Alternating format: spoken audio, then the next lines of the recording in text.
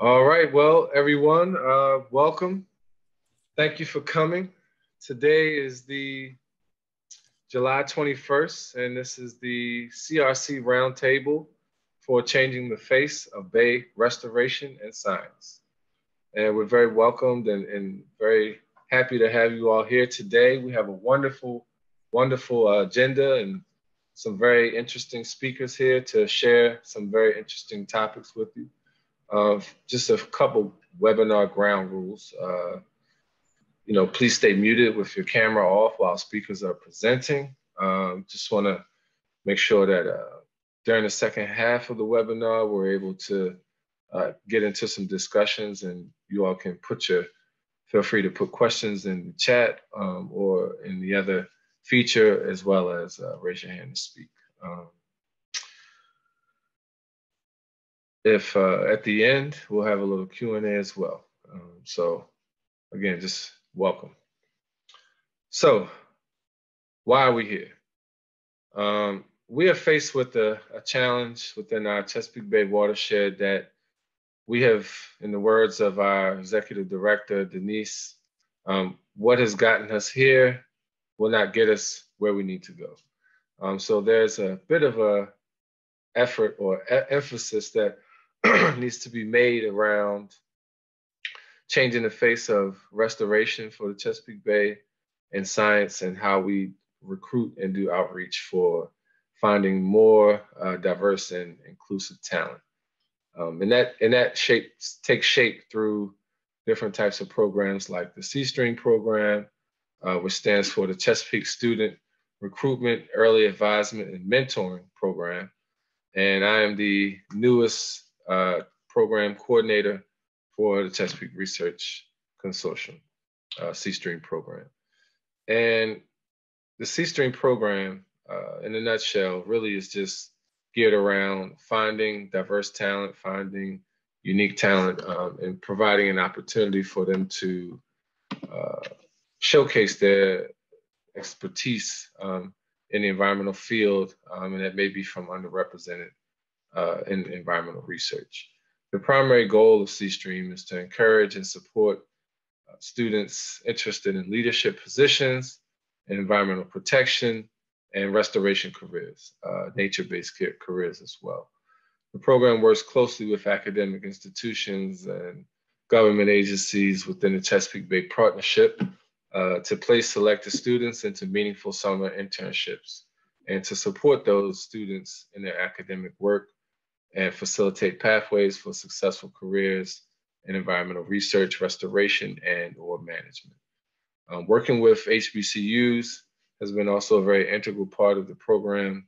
Um, and the vision for the future of the program is to uh, build its capacity by using two theoretical frameworks uh, that stem right out of public health, and that are asset-based theory and the community uh, organizing theory. Um, and those basically are just means to identifying where some of the resources are in some of these underrepresented communities and finding out how they've been able to uh, function thus far and seeing how we can pivot or piggyback or add to uh, that, that resource wealth. Um, we encourage all of our interns to obtain doctorate degrees.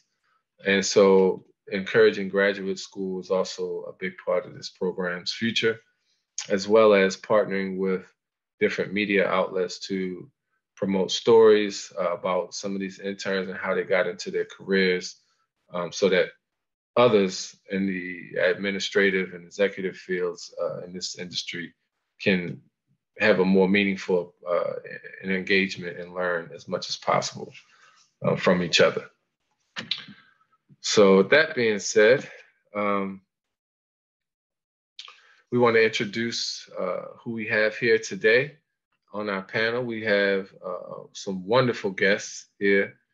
Um, Mr. John Wolf, who is a C-Stream mentor and a Chesapeake Bay program uh, partner as well. He also works at the U.S. Geological Survey. And Mr. John is part of the G GIS team leader for the Chesapeake Bay program in Annapolis, Maryland.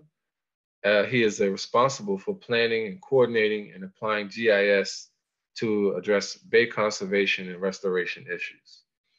Um, also here with us today, we have Nicholas Coleman. And Nicholas Coleman uh, actually was a part of the inaugural C-Stream internship uh, cohort. He also is uh, part of the University of Maryland's Chesapeake Biological Laboratory. He's from Upper Marlboro, uh, and he's a graduate from Coastal Carolina University with a BS in marine science and a minor in biology. And during his undergraduate experience, he participated in the uh, C-Stream program, the CRC, and during 2018 and 2019, um, and now he's currently a graduate student at University of Maryland Center for Environmental Science, and he's working with the Chesapeake Biological Laboratory. And I'll let him tell you a little bit more about himself when that time comes. Uh, and also, last but not least, we have Bailey Bosley, who is a current, right now, C-Stream intern.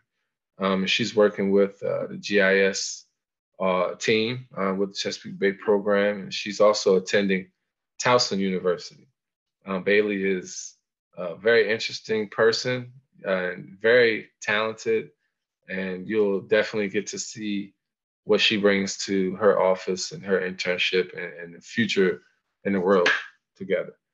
Um, so that being said, uh, now that we had those introductions done, um, the topic today, uh, we're going to kick it off. And the topic today basically is just, you know, our ability to take a look forward, and look behind, and look to the future. Um, so to do that, we're going to kick it off with Mr. John Wolf. Thanks, Kenyatta. So yeah, I am um, as he mentioned, I am the GIS team leader at the Chesapeake Bay Program Office in Annapolis, and I work for USGS.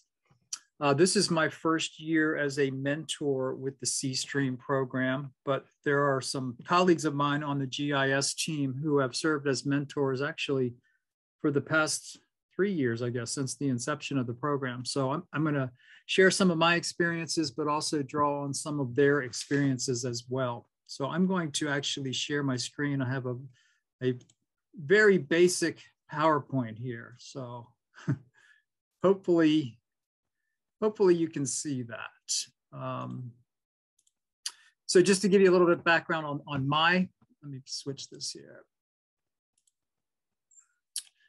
My background, so when I was in high school many, many years ago, I was interested in environmental science as a, number of our current interns are, I'm sure.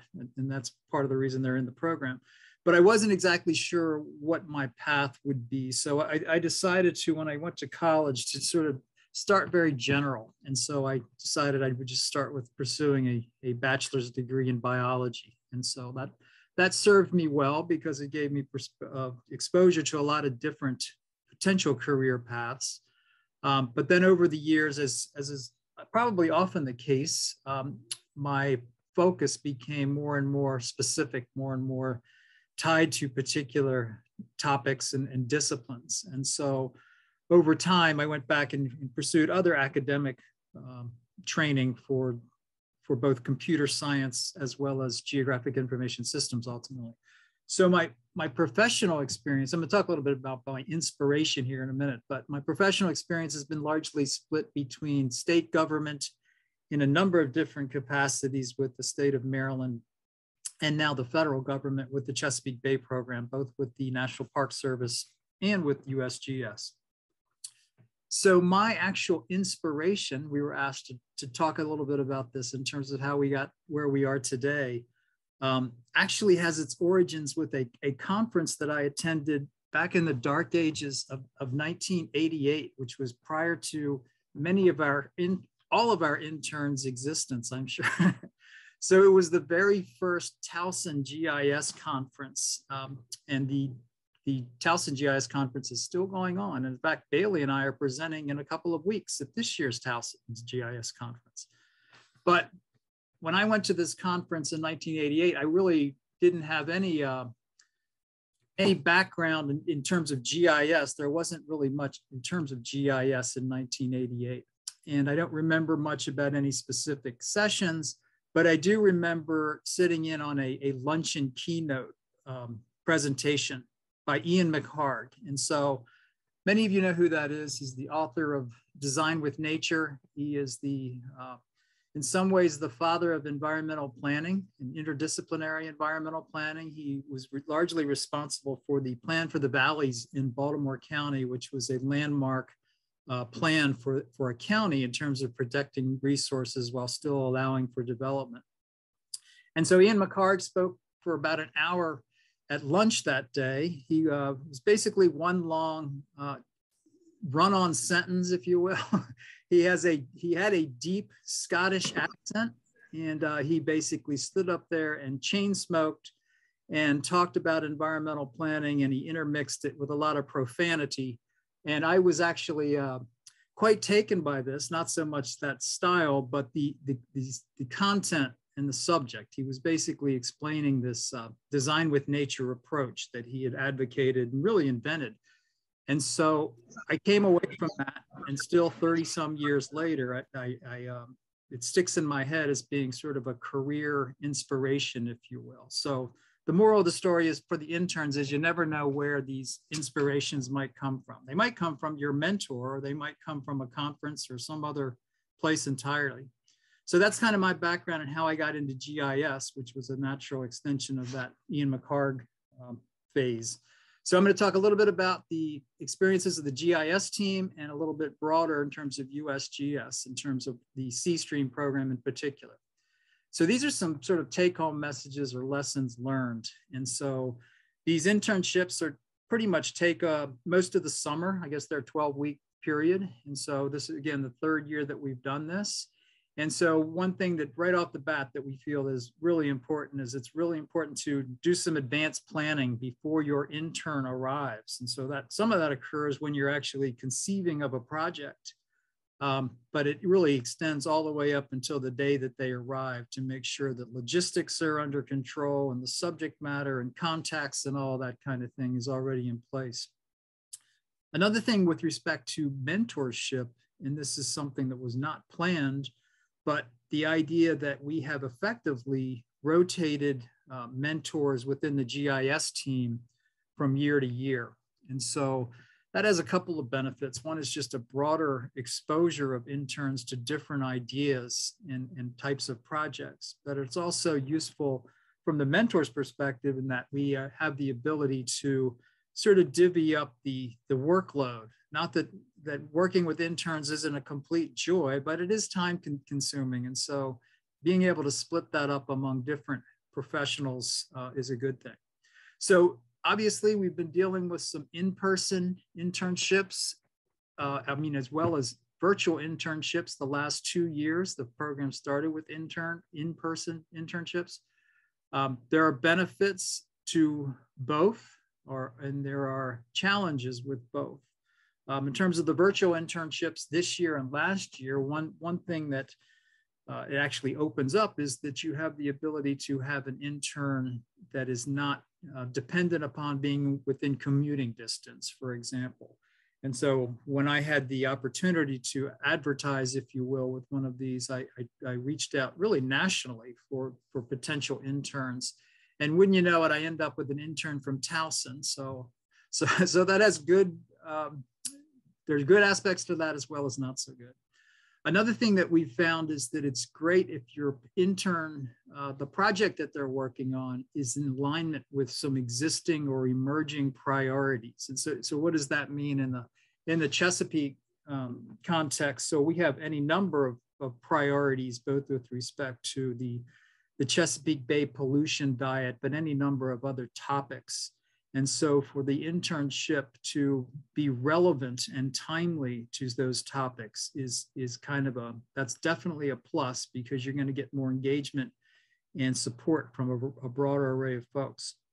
Another thing we've done in the last couple of years is co-mentor with other entities in the Bay program. And a couple, couple that come to mind are the diversity work group, but also the climate resiliency work group. So if you can bring mentors to a in kind of a team-based approach to combine expertise, that can actually be very effective so that the intern is exposed to a broader array of, of topics.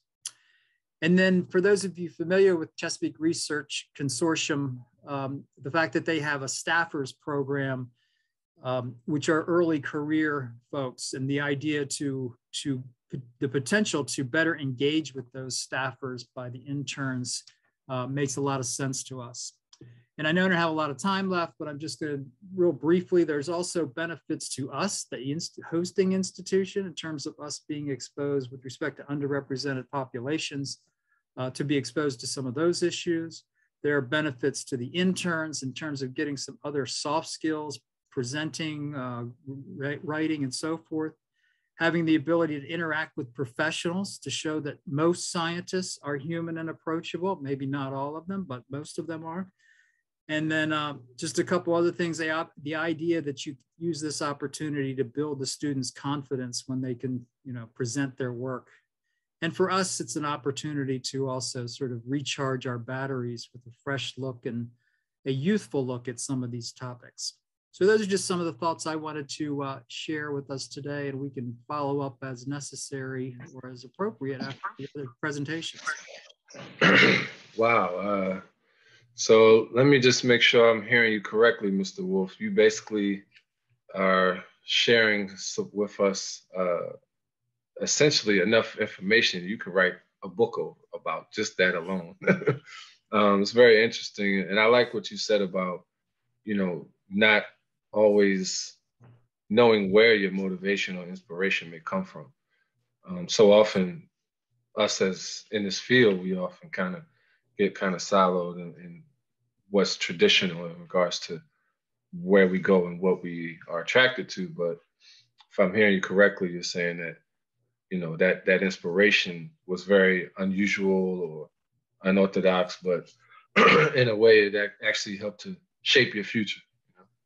You know? Yes, and that inspiration can come from any number of places. That's kind of what I wanted to emphasize. So, yeah, that's a good point. Mm-hmm. Thank you. And so next up, uh, we have Mr. Nicholas Coleman, and I believe uh, he is ready to go. So I'm going to turn it right on over to him. Yeah, thank you. Uh, so thank I had a uh, similar experience as John in the sense that I've always been interested in marine science, as I'm sure everybody in uh, environmental science, and I'm sure everybody within this discussion has been. But uh, in my you know freshman sophomore year, I uh, was trying to pinpoint what um, aspect of marine science I was most interested in. And I was drawn to fisheries, but uh, I quickly realized that fisheries is almost just as broad as marine science, and there's a, a lot of routes you go down. And um, I had the opportunity to be a part of the inaugural cohort uh, for the uh, C-Stream program, which really helped me uh, explore what aspects of fisheries and also within environmental and marine science that I was uh, interested the most. And it's actually facilitated um, my progression into grad school. So in 2018, I did a internship at the Smithsonian Environmental Research Center uh, with Matthew Ogburn uh, on a project that used acoustic telemetry to track the migration of um, six fish and invertebrate species in the Rhode River, which is a Chesapeake, which is a tributary of the Chesapeake Bay. Uh, one of the cool things during that project is one of the uh, species that I was tracking with acoustic telemetry was an Atlantic sturgeon. And I grown up in my life, or grown up in the uh, Chesapeake Bay uh, my whole life, and wasn't really aware of the presence of Atlantic sturgeon in uh, the Chesapeake Bay. But uh, and also acoustic telemetry was something I was really drawn to. It was, it was really interesting, and I got my first exposure to the methodologies associated in its application in fisheries science um, during that internship. And uh, I collect, I got data from a lot of scientists within Chesapeake area, Chesapeake Bay, and one of those uh, scientists was Dr. David Secor, who's actually uh, my current advisor. So my uh, for at University of Maryland uh, Chesapeake Biological Laboratory. So my um, internship during at SERC uh, really directly led to my uh, graduate position because I exchanged information with Dr. Secor, and uh, we kind of stayed in contact while I was in undergrad. And, and as I was finishing up, he let me know he had a position open. And now my current master's project um, uses acoustic telemetry and sonic imagery to estimate the population abundance of Atlantic sturgeon in the uh, Nanticoke River, which is also a tributary of the Chesapeake Bay on the eastern shore. So it's kind of cool to see that come full circle. And um, you know, John talked a lot about putting your putting you into contact or C-stream interns in contact with professionals, and I think that's a great example of how that relationship facilitated uh, the growth and um, maturation of my uh, science career. Um, but also in 2019, I had the opportunity to work with um, uh, Dr. Mary Fabrizio at the at the Virginia Institute of Marine Science, and that was also a great experience. So I was uh, fortunate to participate uh, two years in the um, C-Stream program, and it was a great experience. And it was a little bit different than acoustic telemetry. I worked on a project that used uh, macroinvertebrate assemblages to assess uh, habitat quality for black sea bass, but um, it was just a, a, good way to continue my progression and identify things that I would be interested to continue to pursue, and it provided me with a lot of professional skills. Like I got my first uh, taste of uh, R, which is a highly uh, you know sought out programming skill for a lot of um, graduate students and students looking to continue their progression in marine science. So it was a wonderful experience. Um, but uh, through this process, you know, I've continued to grow as a marine uh, as a marine scientist, and currently I'm in California uh, doing an internship uh, with the NOAA Santa Cruz lab, uh, where I'm using acoustic telemetry and uh, sonic imagery to estimate the population size of green sturgeon in the Sacramento River. So I've had, you know, through the internship internship experience that I've gleaned through the C-Stream, I think they both greatly prepared me to take the next steps in doing an internship as a graduate student and um, try to progress and be ready to enter the workforce for you know a federal position like NOAA. Wow. So, and we talked about inspiration before, but I mean, you you're not, you know, you're a very uh, very accomplished young man for your age, and you know you've done a lot, you've seen a lot. I mean, where does your biggest inf- influence or inspiration come from? That's a that's a good question. Um,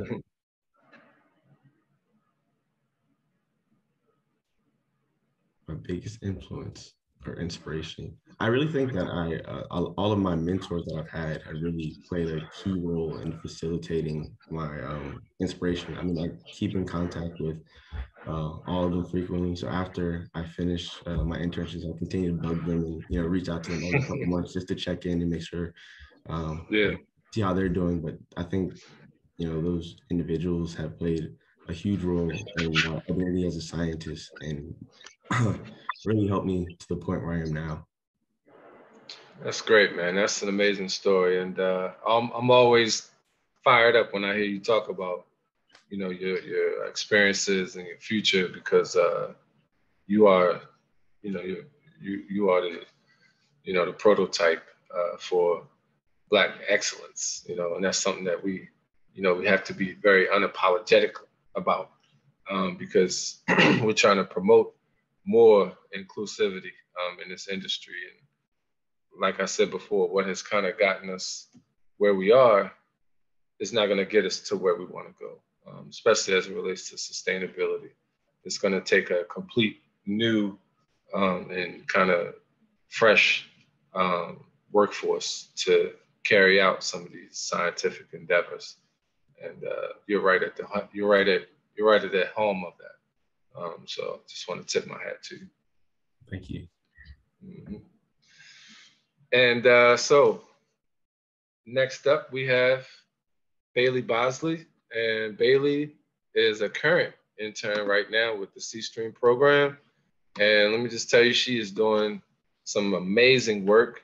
Uh, she's developing gamification applications. Uh, she's using com- communicating uh, place-based landscape changing scenarios. Uh, she's dealing with GIS uh, team at the Chesapeake Bay program.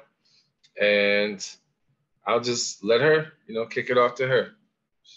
Thank you so much, Randy. I'm doing no good, problem. thank you. Um, real quick, I um, when I thought about doing this webinar, I, a lot of different things sort of ran through my head. I have a bunch of things I would like to talk about. So if I start to take too long, just you know, interrupt me, let me know, and I'll I'll wrap it up here. But um, yeah, thank you. All right, so hi everyone. Um, my name is Bailey Bosley. Like Randy said, um, I'm a senior at Towson University. Um, I'm studying environmental science um, and GIS. So first, I just kind of wanted to take a step back and talk a little bit about my um, academic journey because I'm in a much different place than I was a few years ago. Um, I first started with a computer science, or I was working towards a computer science degree at um, at a community college. But uh, when I when I neared the end of that program, I started to realize, like, you know, this is great, but something just didn't quite feel right, and I wanted to uh, reconnect with my original interest when I was in high school. Um, I've always loved nature. My family, we have a, a, small garden where we grow our own vegetables. And I think um, unconsciously, this kind of fueled my interest uh, into this field. But, you know, I grew older and I learned about these environmental challenges we're facing. And I just, I wanted to be part of the solution um, in some way. So that's, that's kind of why my studies shifted back to what they are today. Um, in terms of my studies, I tend to focus on plants because um, I often feel like they're, you know, underrepresented in, in research. Um, but I also I wanted to mention that uh, my GIS studies, it, it, was never initially part of my plan. Um, I needed to take an elective, and so it just kind of fell right into my lap. And I took that class and was like, this seems like really cool. I need to know more about this.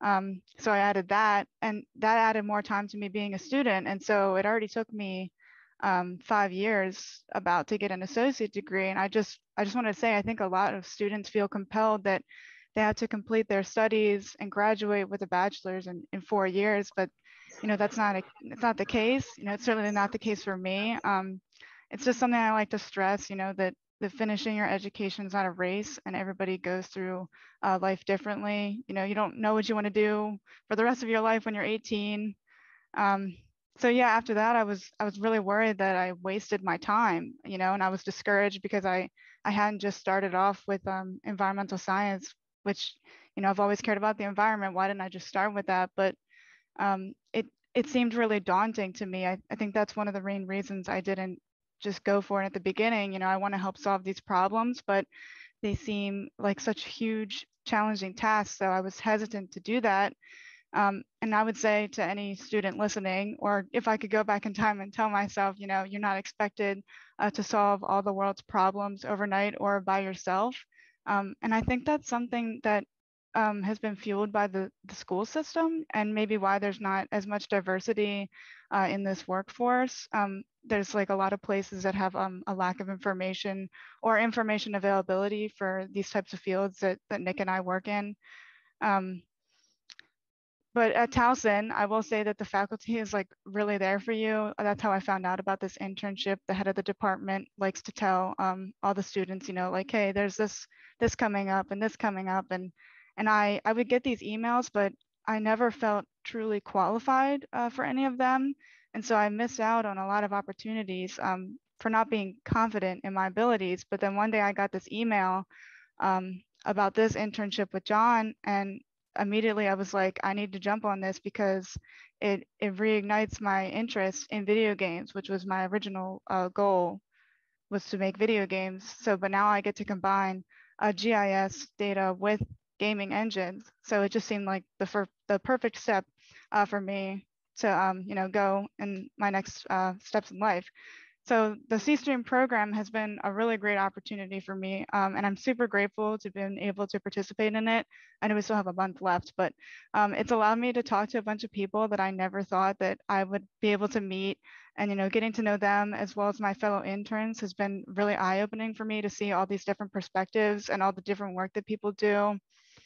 Um, but the, it's also helped me to learn more about uh, you know real-world opportunities or like um, career work, like how to apply for jobs and networking. And I know um, the program has only recently been implemented virtually, much like everything else um, due to the pandemic. But I hope in the future that they can continue to have um, some virtual, at least some virtual um, opportunities, because you know, for me, being virtual really made this opportunity possible for me. I know that I am in Towson; it's not super far away from from where John works in Annapolis, but you know, it still made this possible for me. Um, and being virtual, um, like John said, it does come with its own set of challenges because we are working remotely. I think um, everybody, you know, needs to be good at working independently and being motivated. Um, time management is crucial, but communication, I think, um, is really critical, not only for, um, you know, in person, but also virtually, because, you know, when you're when you have in person, you can just, you know, walk into your your mentor's office and ask them a question. But John and I have done really well, I think, um, with keeping in keeping in touch for this. but like John said, I think virtual internships can have you know, more opportunities for a wider range of students, you know, as we see that a lot of work can be done um, remotely. Uh, but most importantly, I think this internship has allowed me to see um, more of the real world, you know, in class. Um, they present us with these problems and I often think they tend to just be linear and, you know, like here's a problem, here's your solution, you know, that's kind of how it is. But uh, John has been showing me that that is not the case. You know, just the application that I'm working on, it's not A to B, it's like a to A.1. you know, it's not a straight line. Um, and I got to meet members of his team um, and they've provided me with a lot of uh, advice and insight. Um, and I just really value the connections that I've made there. Um, so let me just briefly talk a little bit about the project that I've been working on. Um, it, it, combines GIS data into game engines um, where once it's in the, the game engine, it can be manipulated in whatever way really possible by the engine so I've been experimenting with that and it's still in beta. So um, it's got some bugs, you know, things don't work properly. Um, you know, it's still a work in progress, but it's still, it's still been interesting to work with. Um, I've been using Unity, that's the name of the game engine. And like I said, you can basically do whatever you want. It's just figuring out how to implement it in the engine. Um, so real quick, let me see if I can share my screen and try to wrap up here because I know I've been talking a while. Yeah, um, all right. So you got about one minute left. Okay, cool. So I'll just show this real quick and then I will just talk about the future here. So this is just kind of what you can already see. This is Harper's Ferry. Um, this is just in the scene viewer that is already provided as like a web service by Esri. And then this is what I've been able to add in um, this water um, in the game engine scene, which actually moves. I didn't want to, I didn't know if the Unity would play quite properly for the webinar. So I just did that. Um, yeah, so that's what I've been working on. And then in terms of the future, you know, I do feel that this internship has provided me with a lot of, just a lot of things I never thought about and people I never thought I would meet. So I don't know where I might go in life. I have so many interests. Um, even this with this internship, you know, I, I don't know. I, I like plants, but plants and GIS is, you know, not super connected. But, you know, who knows? I might go to a graduate program or I might try to get a job, which was my initial plan, but I don't really know where, where I'm gonna go. But that's a little bit about me. wow, wow. Let me just say, Bailey, you are hitting home run after home run um, with your work that you're doing. And um, just listening to you made me think about uh, the tree canopy GIS uh, work that's being done by NASA right now. Um, so there is a possible connection with plants um, and trees and still connecting with your GIS. And I have some connection. I have a contact at NASA who was uh, instrumental in creating that program. So um, maybe something to look at too. But, um, so yeah, thank you, thank you, thank you. All right, let's give it up. Round of applause for our guests. Um, man, that was so invigorating hearing all of you all's journeys and stories and, and the work that you're doing. Um, and I really like the the variety of just three different people that are at three different points in their career. Um, and I think that's that's a very uh, interesting interesting thing. I would encourage you all also to right now, if you haven't already, type some questions in the chat, uh, spam the chat, uh, fill it up. Uh, any questions you may have, and we're just gonna, you know, run down those questions uh, kind of one by one here. Um, just want to also just thank the speakers uh, for what they've been able to do here. So let me just pull it up here. And I see we have some other guests in the room here. We have uh, Richard Allen and Bart Merrick and Vanessa Bright. I just want to shout them out real quick. Thank you for joining. And let's check this chat out here. Okay.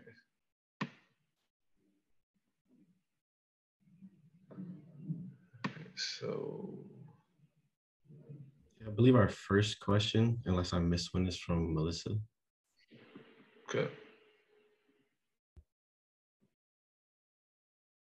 Um, yeah, so uh, Melissa asked Nick, Nicholas, um, what have you been doing since your summers with us? And I think you kind of gave a, a little brush up on that, but you want to talk about your dipping your foot in the Chesapeake and I mean in the uh, Atlantic Ocean and the Pacific Ocean in 24 hours activities.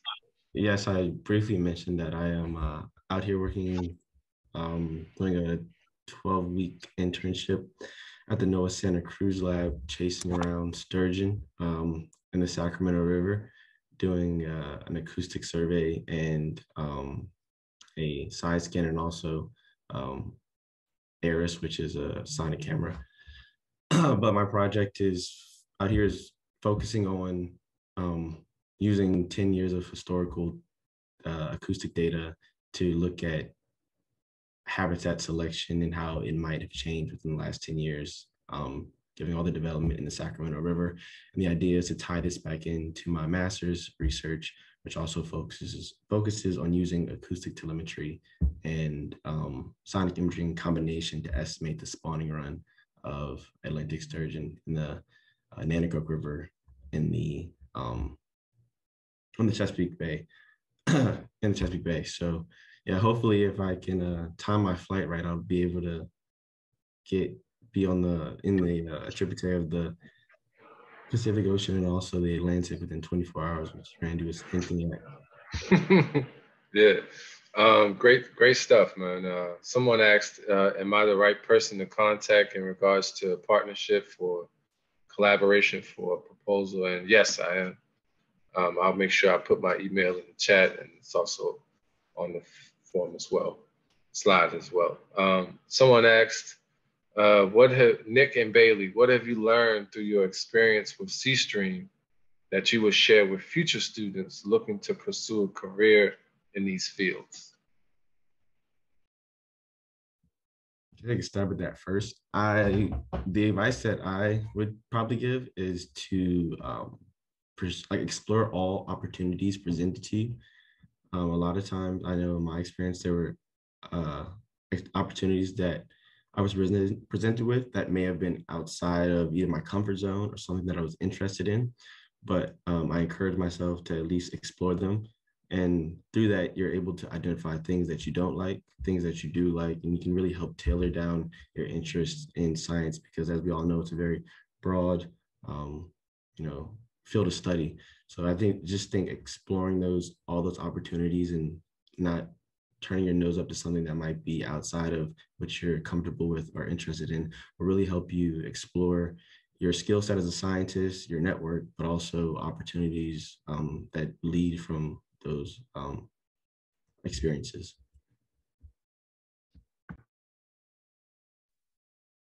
I can um, talk about that too a little bit if that's okay. Um, so I definitely agree with what Nick just said, but also um, this internship is basically the first, you know, my first step at into really doing anything. Um, so I would say um, not to be, and I know I said this kind of earlier in my my talk, but not to be like afraid to go for it because I missed out on so many opportunities because I didn't feel confident in myself or I didn't think I was just qualified in general or just holding myself back and being afraid of, you know, I might do something wrong or, you know, um, I forgot the other thing I was going to say, but I would I would say you know to go for it. You know, the worst thing that can happen is you know you apply and you don't get it. You know, and then you just keep trying um, to get experience um, in different places.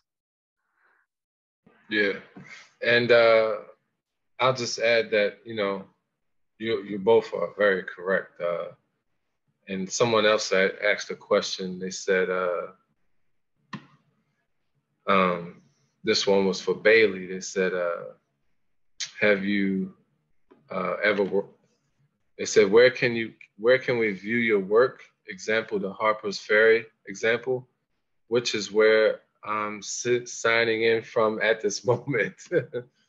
um, and then someone also said that you may want to check out uh, the, wait, I just saw it, the National Park Service uh, showing your work to them because they he, they think that William Dennison thinks they'd be very interested. Um, someone, and I, this question is for Mr. Wolf. This is just my own personal question. Someone has one similar to it. I'm gonna get to that next.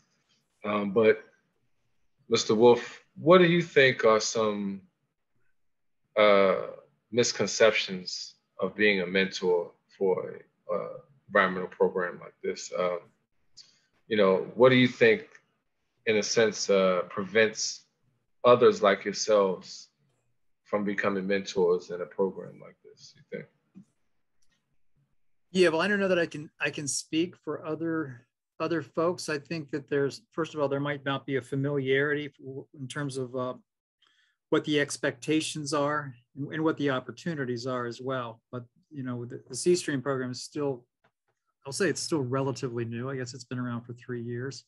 And so word is getting out more and more. And we, we have had uh, the last couple of years, as you you will be involved with, and coming up at the sort of the end of summer suite of presentations that have traditionally just been really good. And so it opens people's eyes that you know it's like next year they might think well maybe i should pursue that. So so just not being maybe familiar with the logistics and the mechanics of, of the program is one. Um, there probably is there may be some concern about the time commitment. I can't again i can't speak for others. Having having observed this for a couple years with other mentors on the gis team i, I kind of knew what it would be coming in. Um, it also helps when you have somebody like bailey who is very independent and and very creative uh, worker. So um, I don't know that, you know, I, again, I can't speak for other people in terms of what barriers might exist. Just, gotcha.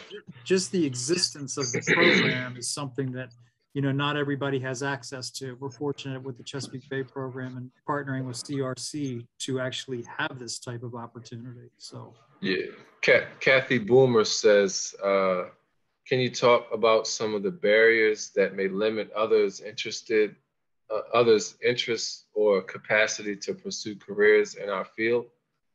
And I would direct that to any of any of the panel. Talk about some barriers um, that may limit others' interests. So basically, what do you think are some things that make it tough for some more underrepresented populations to get into these industries? You think? I, I think in uh, just in terms of some of the conversations I've had with USGS colleagues, because this is a, this is kind of the known issue. Well, it's, it's not unique to USGS, but particularly in the geosciences, um, there is it's very underrepresented, but part of it is, and so we have partnerships in the Southeast region with various HBCUs and other minority serving institutions but there aren't as many programs as I, I think would be ideal in terms of the pipeline, if you will, and, and what, what folks are exposed to. And I'm, I'm thinking in terms of uh, specifically geoscience, geographic information sciences um, being in, in those underrepresented, the exposure in underrepresented communities and the opportunities as being one of them. Uh, but at the same time, just you know, outreach and communication to make this is a big deal with USGS to make folks aware that the careers even exist because they might not, right. may not be exposed to these types of careers um, in their setting. So it, some of it's communication, some of it's, you know, just yeah having access to information. Someone else said, uh, the next question we have here, um, was what are some recommendations that, of our presenters on st strategies for having student interns and job placements um, in in the organization? Uh, I'm not quite sure what they meant by that, but uh, also, I would add that if anyone on the panel would like to be a mentor, or, I'm sorry, not the panel, but on, in the audience of this call, if you're interested in being a mentor, feel free to contact me. Um, we can help set that up um, for the future. Uh, someone said any of, uh, someone said this one's for John um, from Melissa. John, can you share a bit about the rewards of being a mentor and any advice you might have for future mentors? Uh, sure. Hey, Melissa. Um, so again, this is my first year with this. And so I touched on this a little bit in terms of benefits for the, the hosting institution, if you will. Um, from a personal perspective, having sort of that infusion of of, of youth and energy. I hope that's okay to say. That's but being mm-hmm. to what you know, what is the in working with Bailey, and we're working with, uh, and I'll, I'll admit that I'm not a, a, video game expert as much as I'd like to be, but being exposed to uh, younger technologies and things about how they interact with technology has, has certainly been beneficial. Um, but it's it it is rewarding to see individuals make progress on something that probably seemed insurmountable at the beginning of the summer and things starting to fall into place and it's it's rewarding to see a product that that the intern could be proud of and share with others so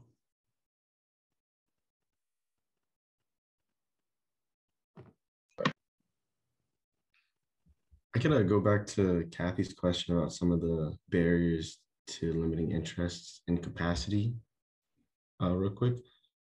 That's okay. Sure. Mm-hmm. Yeah, I just think that I can't speak enough about the power of these REUs or summer research experiences. They really do give you not only the opportunity to explore the um, environmental field and actually get a taste of it, but also to network and help facilitate the progression of that interest. Um, but with that being said, these uh, experiences are very competitive. Um, mm-hmm. So the ability for the CRC C Stream program to work together with a lot of these REU programs and summer internships is, I think, really unique and will help kind of um, break down some of those barriers and and continue to facilitate the uh, um, growing diversity within these unique but competitive internships. I mean, how important is that? You think? Which which part? Uh, that that that level of engagement that you're speaking of. I mean, that divert that the the impacts of that. Oh, I mean, I I encourage every undergraduate to do an REU, and I think it really does. I mean, prepare you, uh, helps grow your interest, and I think it's uh, like I I can't say essential because not everybody's going to have exposure to these opportunities, but I highly, highly recommend. And the more we can get people to participate in these, and um, the other panelists have talked about virtual internships, even those are a great opportunity to kind of broaden the accessibility to these types of internships and experiences. We have an, yeah, great point. Uh, we have another question, and this is for any th- any three of you. Um, what changes would would you recommend for the interns, the C-Stream internship and the mentoring aspect of the program for CRC? Um, what changes would you recommend for the intern C-Stream internship program and for the mentoring aspect of the program? Take a second to think if you like. And just quickly follow up on that the one item I mentioned toward the end because it came out of conversations with other mentors on the GIS team is that that linkage to the early career staffers that CRC um, administers that program. And so the interns are just really sort of one step earlier in the process of moving to a, a career, if you will. And it, it, just occurred to us that there's a, some similarities and some some wisdom that even the, the staffers could share with the interns um, right. might, because they're a couple of years maybe ahead of, of where the interns would be. So that might be another linkage for CRC to consider. Yeah, and I, and I don't know. I, I think you know uh, one of our uh, fellow colleagues, Darius Stanton. I, I knew him very well. Or, he, he told me. Yeah, he told me. Um, but that was something that he mentioned actually, uh, not even but a few days ago, um, how important that could be for the program. Um, because as you know, there are many staffers. Um, yes. And many of them are doing things that may be relevant to some of these internship projects, um, or even just for potential career connections. Um, so that that was also mentioned by him. Thought I'd bring that up. Uh, Bailey or Nicholas, did you have anything to add to that?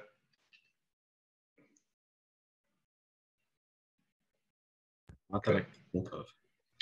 All right. And the next question was since most internships are virtual now, and me and Mr. Wolf, we've talked about this before, um, are there particular challenges with remote work locations and building strong work relationships? Um, any recommendations on what works? And I'll just, you know, kind of mention, you know, we had talked about how important or challenging it is to allow or f- provide an opportunity for interns to feel work office type feel um, from a virtual setting. So I'll just kind of re, re remind of that talk we had had. Did you have anything to add to that, about that, Mr. Wolf?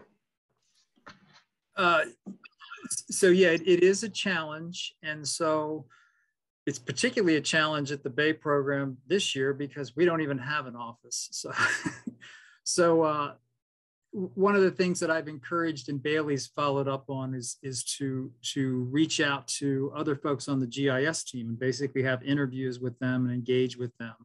Um, other opportunities. I mean, you guys provide opportunities for this interns as a group to integrate and, and um, you know chat, get to know each other, and so forth. And then if there are other opportunities, whether they're workshops or conferences, um, you know, things that might not be typical, um, you know, not available all the time, but still might be opportunities for the intern to be engaged with the broader community, even though it is virtual. Um, there, there's to seek those opportunities out is probably more important in years like this year as opposed to when everybody's in the same office building. Yeah. Look for those opportunities, I guess is what I'm saying. Okay. Um, and I just want to shout out a few more people. We have Liz Feinberg in the building and Kristen. Uh, also, some trailblazers in the world. If you don't know them, you may want to touch base with them. They're amazing people to know. Um, so we're going to start to kind of wrap it up a little bit. We got about you know uh, six, seven minutes left. Um, so I wanted to give a little bit of time to give each of you to just have a closing statement or closing remark anything that you may want to share uh, just as a closing statement for yourself. Um, anything you want to close out with or comment? I, I would just say that I, I really enjoyed this uh, this experience. It went as well as I think it possibly could have with respect to the, the virtual setting. And CRC has been great in terms of supporting the entire process. So they, they take a lot of the legwork out of the the internship process so that the, the intern can work directly with the scientist or the analyst, whoever it might be. So I, I appreciate the opportunity. And I think that the, the arrangement that we have within the Chesapeake, in particular with CRC, is, is working very well.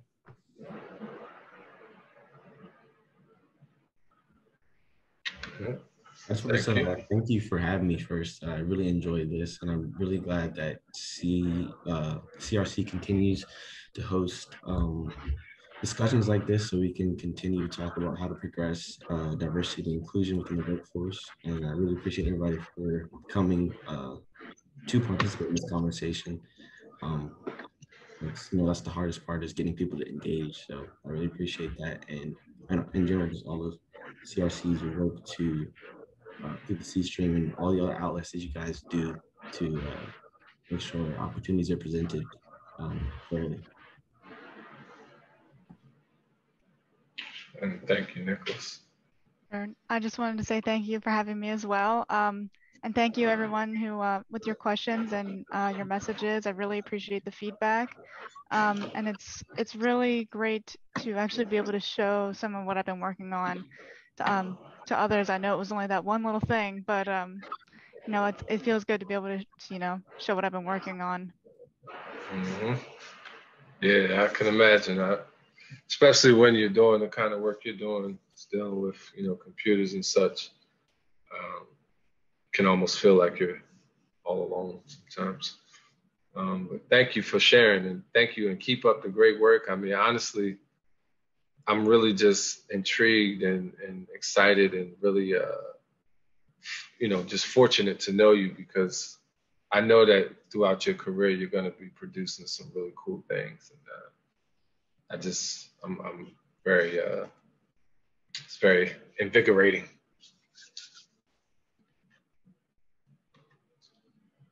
All right, so um, I think we have one last uh, slide to show you, I believe. Um, and that is just a thank you slide. Uh, it's a wonderful discussion. Uh, thank you, Nicholas, taking the time out of your, your schedule, um, putting this, to, and, you know, being a part of this. Uh, thank you, John, as well, and Bailey. Um, if you can, join us for the next webinar, which will be on Wednesday, August 18th. And we'll be hosting that same, same type venue, different topic, different panel, different uh, panelists. Um, so Hope to see you all there.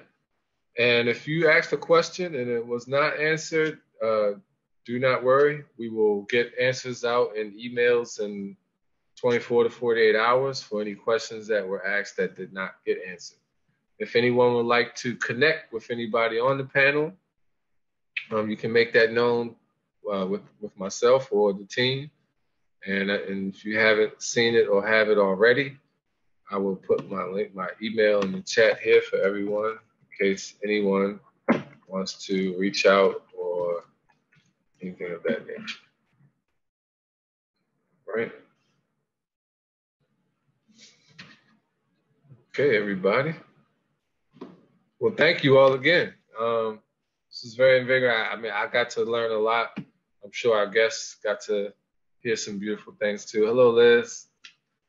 All right. Um, did you have anything you wanted to share, Liz, and say hi? Okay, cool.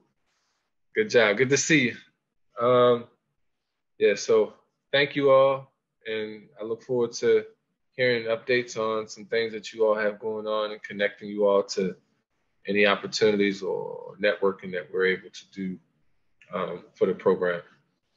All right, thank you all. See you later. Have a great Wednesday and uh, be safe out here. Stay safe, stay cool, and um, you know, enjoy your Wednesday, enjoy the rest of your week, your summer, and I'll see you all on August 18th for the next one.